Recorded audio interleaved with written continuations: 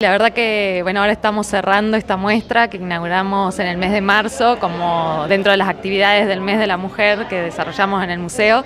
Eh, las habíamos invitado para como muestra principal para que muestren sus trabajos, sus obras de arte y la verdad que muy contentas porque trabajaron en equipo, que demostrando eso lo que es trabajar en, en un colectivo que es eh, son ellas las allá ellas.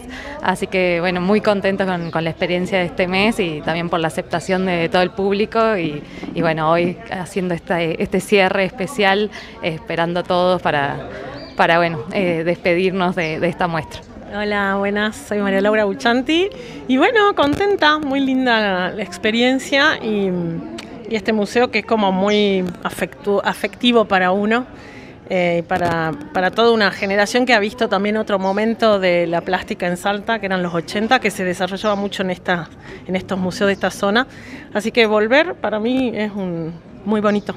Hola, yo soy Gabriela San Andrea. A mí, a mí me encantó. Yo no soy de Salta y este, siempre empezar a habitar los espacios de Salta me parece un orgullo y un, un placer, la verdad, que muy linda, hermoso. La alegría del retorno, porque después de tantos años de abandono de este espacio tan hermoso y que haya sido recuperado como lugar de, arte, de encuentro, de mostrar las expresiones artísticas de la ciudad, bueno, es una maravilla, esperemos que se, conserve y que siga proponiendo tantas actividades como se están haciendo hasta el momento. Mi nombre, Virginia Montaldi. Eh, bueno, fue una súper experiencia, eh, nosotras hace 7, 8 años que estamos trabajando juntas y así que este, traer a la sala lo que estamos produciendo fue como genial, fue así como un reencuentro productivo.